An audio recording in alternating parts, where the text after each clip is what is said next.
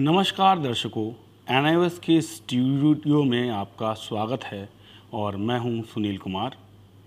आज हम mass communication यानी जन संचार विषय पर चर्चा करेंगे और इस विषय के अंतर्गत हम इंट्रोडक्शन टू कम्युनिकेशन को समझने का प्रयास करेंगे। तो आइए चलते हैं समझने की जनसंचार क्या है और इंट्रोडक्शन टू कम्युनिकेशन की शुरुआत या इंट्रोडक्शन टू कम्युनिकेशन कैसे होता है? इस पूरे विषय को समझने के लिए हम understand human communication why to communicate what is communication how do we communicate five senses of communication verbal and non verbal communication types of communication इन सभी विषयों के बारे में उप विषयों के बारे में चर्चा करेंगे। इसके अलावा हम इस विषय पर बात करेंगे कि इनके उद्देश्य क्या हैं।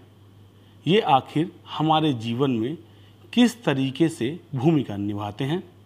संचार के मुख्य उद्देश्य क्या हैं। संचार का आपके हमारे जीवन में सरोकार क्या है। ऑब्जेक्टिव्स में हम लोग meaning of communication state how we communicate non verbally and verbally इसके अंदर list different types of communication discuss the meaning of interpersonal communication explain interpersonal communication और एंड में differentiate between group and mass communication एक बात यहाँ पे बहुत ज़रूरी है बताना कि पूरे उद्देश्यों के अंदर हमको यह समझना होगा कि संचार में इंट्रापर्सनल यानी कि अंतर व्यक्तिक और इंटरपर्सनल अंतराव्यक्तिक संचार क्या होता है। विषय पर आगे बढ़ते हुए हम समझने की कोशिश करेंगे कि संचार मनुष्य के जीवन में किस तरीके से भूमिका को अदा करता है? अंडरस्टैंडिंग ह्यूमन कम्युनिकेशन हम, आप, हमारे आम जीवन में जब हम सुबह सोकर उठते हैं और जब तक हम जागते रहते हैं, हम उस पूरे दौरान में एक दूसरे से बातें करते हैं, अपने आप से भी बातें करते हैं और सोने के बाद में हम लोग फिर संचार की एक व्यवस्था के अंदर में जाते हैं। उसके बारे में हम लोग बाद में चर्चा करेंगे। लेकिन फ़िलहाल जो बड़ी बात यहाँ समझने वाली है, वह है कि हम संचार आखिर करते किस तरीके से हैं या किस माध्यम का प्रयोग हम संचार के लिए करते हैं। Exchanging our ideas with others we use two ways और मेथड्स ऑफ़ कम्युनिकेशन सामान्यतः हम दो तरीके के सिद्धांत पर कार्य करते हैं और यही संचार के मूलभूत सिद्धांत भी हैं। पहला, या तो हम बोलकर संचार करते हैं या किसी से बात करके संचार करते हैं या फिर हम लोग जेस्चर पोस्चर या अन्य माध्यमों से संचार करते हैं। We either speak and tell or we just do it without words जी हाँ। संचार करने में, वर्तमान में तो हम लोग शब्दों का प्रयोग बड़े रूप में कर रहे हैं। चाहे वो हमारा सोशल मीडिया से संवाद हो, चाहे अभी मैं बैठा हुआ आप लोगों से संवाद कर रहा हूँ। चाहे आप अपने घर या परिवार में अपने बड़ों से या अपने दोस्तों से बात कर रहे हों, हम लोग यहाँ पर भाषाओं का और शब्दों का प्रयोग करके संचार की विभिन्न अवस्थाओं को करते हुए दिखाई देते हैं। लेकिन वाकई में संचार ऐसा नहीं था। संचार के उद्गम में जब हम जाएँगे तो आदि मनुष्य पे या आदि मनुष्य के पास संचार के लिए शब्द मौजूद नहीं थे। इसीलिए हम लोग अंडरस्टैंडिंग ह्यूमन कम्युनिकेशन को समझने के लिए कि आखिरकार संचार क्या शब्दों से ही शुरू हुआ, या फिर संचार की शुरुआत अमौखिक रूप में हुई, बिना शब्दों की हुई? जी हाँ ये बात बिल्कुल सही है कि शब्दों की शब्दों की या संचार की शुरुआत अर्ली ह्यूमन बीइंग्स ने बिना शब्दों के साथ ही की थी। Early human beings has no words.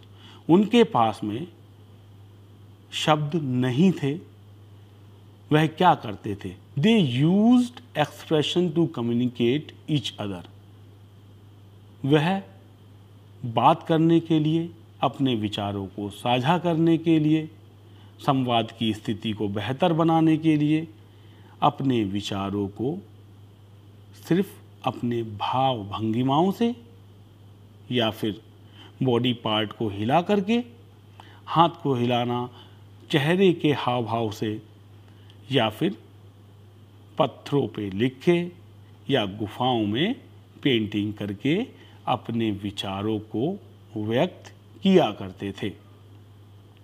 Bharat के संदर्भ में अगर हम संचार को समझें और मध्य प्रदेश या फिर अन्य गुफ, मध्य प्रदेश जैसे राज्यों या अन्य राज्यों की आदिम संचार सभ्यता के ऊपर बात करें तो भीम बेटका की गुफाओं में उकेरे गए चित्र, अर्ली ह्यूमन कम्युनिकेशन का एक बेहतर उदाहरण है। बात यहाँ पर आती है कि संचार आखिर हम करते क्यों हैं? आदि मानव ने संचार किया। जब मानव सभ्य हुआ और नोमेडिक लाइफ से खाना बदोश जीवन के साथ में जैसे जैसे वह व्यवस्थित होता गया वैसे वैसे संचार का प्रारूप भी बदलता गया। या फिर यूँ कहें कि संचार ने मानव सभ्यता को बदलने का बड़ा कार्य किया। अब प्रश्न बनता है कि वाई डू वी कम्युनिकेट तो we communicate for we communicate to inform जी हाँ बिल्कुल सीधी सी बात है। चाहे वो गुफाओं से संवाद हो, चाहे हम धुआँ जला करके किसी को इशारा करते हों, या फिर हम अग्नि जला करके इशारा करते हों, सूचना देने का कार्य भी अग्नि करती है और संकेत देने का कार्य भी अग्नि करती है।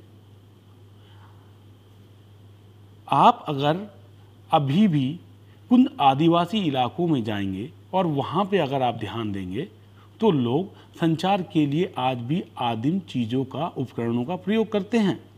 जैसे रस्सी की गांठ बाँध के रास्तों को बताना कि आज विभिन्न जगह पे विभिन्न तरह का कार्यक्रम है और लोगों को उस अमुक जगह पर इकट्ठा होना है। यानी कि जानकारी को साझा करना टू इन्फॉर्म इसके अलावा misinformation counsel sell buy confuse confirm advise teaching learning reveal persuade accept affirm clarity motivate criticise deny and conceal कई सारे कार्य हम लोग संचार के माध्यम से करते हुए दिखाई देते हैं। क्या आप नहीं करते? ज़रूर करते होंगे। आप सुबह उठते हैं ब्रेकफास्ट के लिए अपनी मदर से बोलते हैं। तो ये सारी चीज़ें हमारी दिनचर्या का संचार से बड़ा गहरा रिश्ता है। बिना संचार के संचार के अपनी भावनाओं को व्यक्त करना मुश्किल है। लेकिन बिल्कुल सही, आदि मानव ने इस कार्य को बहुत लंबे समय तक किया। देखिए, हम इस विषय पे आते हैं कि व्हाट इज़ कम्युनिकेशन संचार आखिर है क्या? आप ये समझ गए कि संचार कैसे किया जाता है, लेकिन ये समझना बहुत ज़रूरी है कि व्हाट इज़ कम्युनिकेशन संचार कैसे किया जाता है? या संचार क्या है? इसको लेके बहुत सारे संचार वैज्ञानिकों ने समय समय पर विभिन्न प्रकार की परिभाषाओं से इसको समझाने की कोशिश की। तो इस संदर्भ में मुझे सबसे पहली परिभाषा जो ध्यान में आती है, वह है communication is social interaction through messages बिल्कुल।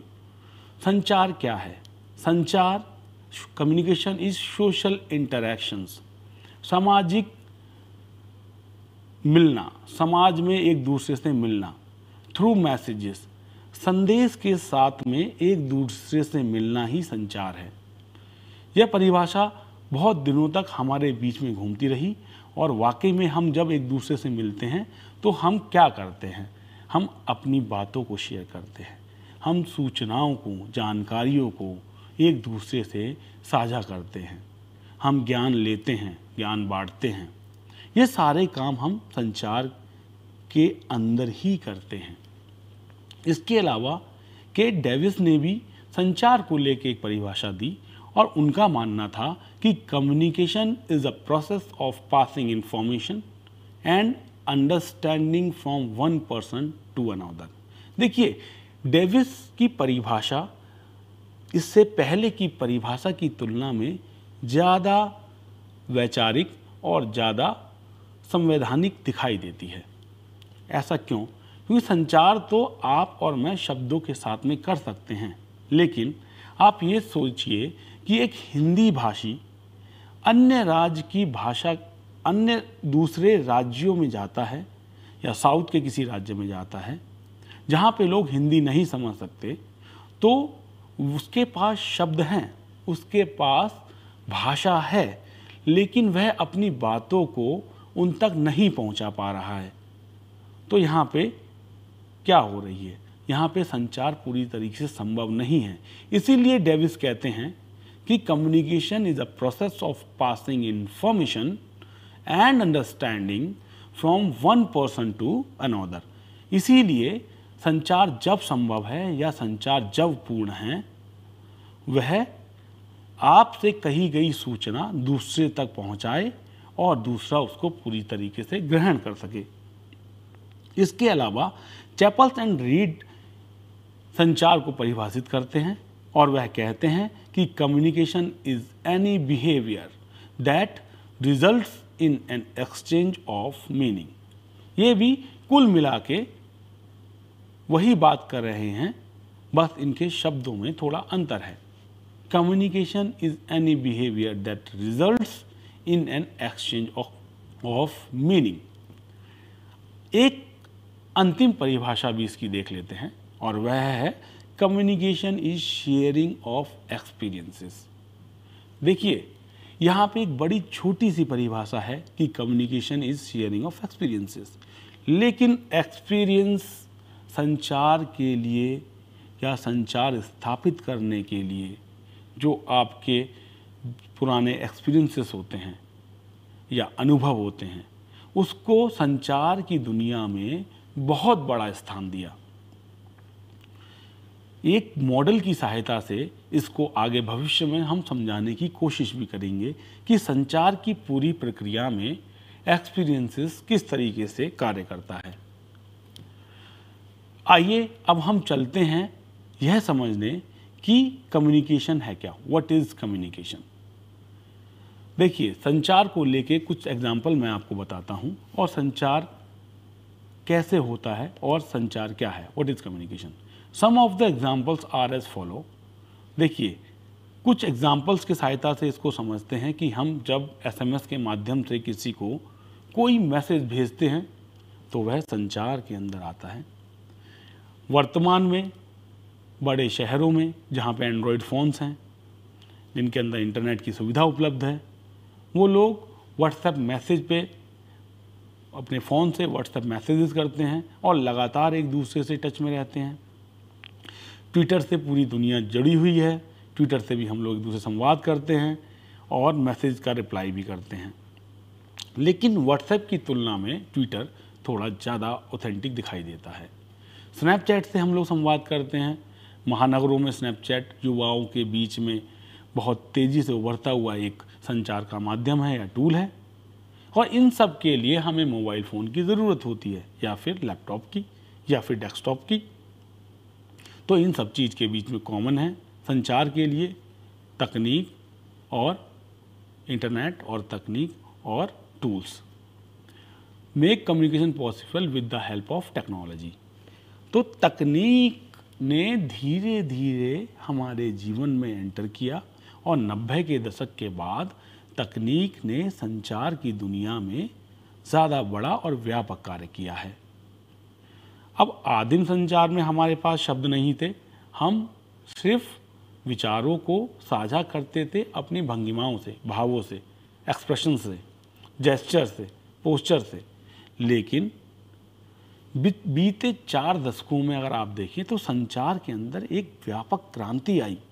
इस वजह से भी संचार को समझना और संचार को पढ़ना बहुत ज़रूरी हो गया। क्योंकि हमारा निजी जीवन हमारा प्रोफेशनल जीवन, हमारा पूरा जीवन कहीं अगर टिका हुआ है तो संचार के ऊपर ही है। आप किसी व्यक्ति से संवाद करते समय थोड़े हार्श शब्दों का प्रयोग करेंगे तो वो व्यक्ति आपको लेकर के एक विचार अपने अंदर में बनाएगा। आपकी छवि को समझेगा कि आप किस व्यक्तित्व के धनी हैं या आपके अंदर क्या कमियाँ हैं, क्या अच्छाइयाँ हैं। वहीं आप जब किसी अच्छे व्यक्ति से किसी व्यक्ति से अच्छे से बात करेंगे तो एक अलग छवि आपकी निर्मित होगी। वह सब किस वजह से हुआ? आपके विचारों के आदान प्रदान से और पहला, दूसरा, संवाद से। हाउ डू वी कम्युनिकेट देखिए, मैं वही कह रहा हूँ और यही समझाने की कोशिश आपको करने की कोशिश कर रहा हूँ कि बच्चों how do we communicate we communicate with the help of our five senses These all five senses are including taste, touch, sign, sight, hearing and smell to communicate. We also use non-verbal mode of communication and mostly feeling could be conveyed by different human emotions. संचार की की श्रृंखला में या संचार की दुनिया में या संचार के विषय में जब हम बात करते हैं तो आप गौर कीजिए कि एक व्यक्ति बिना किसी फेशियल एक्सप्रेशंस के संवाद कर रहा है वो आपको अपनी ओर कम आकर्षित करेगा। वहीं एक व्यक्ति अपने समस्त भाव भंगिमाओं के साथ में फेशियल एक्सप्रेशंस के साथ में संवाद कर रहा है तो आप उसकी तरफ़ ज़्यादा अट्रैक्ट होंगे या उसकी बात में ज़्यादा दिलचस्पी लेने की कोशिश करेंगे। तो संचार के लिए, संचार वह ज़्यादा अच्छे से होता है, उसको ज़्यादा तवज्जो दी जाती है या फिर वह ज़्यादा प्रभाव डालता है, जिसको हम शब्दों के अलावा अपने अन्य सेंसेस का भी प्रयोग करें। जिस संदेश को देने के लिए हम वर्बल नॉन वर्बल ठीक है, उन सारे शब्दों का प्रयोग करते हुए हम लोग किसी संदेश को एक दूसरे तक पहुंचाएँ। फाइव सेंसेस ऑफ़ कम्युनिकेशन अब समझ में आया होगा आपको कि हम लोग संचार कैसे करते हैं और संचार में हम किन किन चीज़ों का प्रयोग करते हैं। इसके बाद हम लोग बात करते हैं औरल कम्युनिकेशन की। औरल कम्युनिकेशन क्या है? इसको हिंदी में बोलते हैं मौखिक संचार। After man developed speech we started communicating orally जैसा कि मैंने पहले भी बताया कि शुरुआत में व्यक्ति के पास में शब्द नहीं थे। अच्छा शब्दों की उत्पत्ति पे अगर मैं थोड़ा सा यहाँ प्रकाश डालूँ तो शब्दों की उत्पत्ति कहाँ से हुई? थोड़ा सा आप भी आइडिया अगर लगाएँ या आप सोचें तो शब्दों की उत्पत्ति वाइब्रेशन से, ध्वनि से हुई। तो सबसे पहले हमारे पास शब्द आने से पहले भी हमारे पास क्या आया? ध्वनि आई वॉइस आई, आवाज़ आई। यानी कि आवाज़ नाम की संरचना सृष्टि में मौजूद थी और उसी के आधार पर उसी को लेकर के शब्दों का निर्माण हुआ और शब्दों के बाद फिर भाषाओं का निर्माण हुआ। और भाषा, फिर बोली, इस तरीके से हमारा पूरा का पूरा औरल कम्युनिकेशन स्ट्रक्चर लेते हुए आज हमें दिखाई देता है। After man developed speech we started communication orally oral communication implies communication through mouth जी हाँ। हम जो भी मौखिक संचार करते हैं, वह अपने मुँह के द्वारा करते हैं, बोल के करते हैं और यही सब कुछ इसमें आता है। It include individual conversing with each other be it direct conversation or telephonic or social media communication देखिए सोशल मीडिया पे आप टेक्स्ट करके भी कम्युनिकेट करते हैं और फ़ोन के थ्रू भी करते हैं या इंटरनेट कॉलिंग के थ्रू भी करते हैं। तो वो भी औरल कम्युनिकेशन के अंदर आता है। आप जब फेस टू फेस किसी से संवाद करते हैं तो वह भी औरल कम्युनिकेशन मौखिक संचार का ही रूप है। आप टेलीफोन से बात करते हैं, वह भी, और क्लास में जब एक टीचर आपसे बात करता है, वह भी औरल कम्युनिकेशन है। इसके अलावा फेस टू फेस कम्युनिकेशन यानी कि ये थोड़े एग्जांपल्स मैं आपको बता देता हूँ। फेस टू फेस कम्युनिकेशन में meetings lectures conferences interviews are some examples of oral communication बाकी बहुत सारी चीज़ें ऑरल कम्युनिकेशन में आती हैं।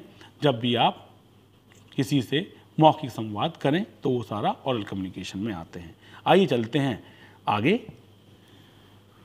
We should we should know हमें एक चीज़ जानना बहुत ज़रूरी है यहाँ पे। आखिर ये जो बोलने की कला है या बोलने की परंपरा है, भारतीय संदर्भ में इसका बड़ा योगदान रहा और भारत के ऋषि मुनि भी इस परंपरा को कई सदियों तक निभाते चले आए।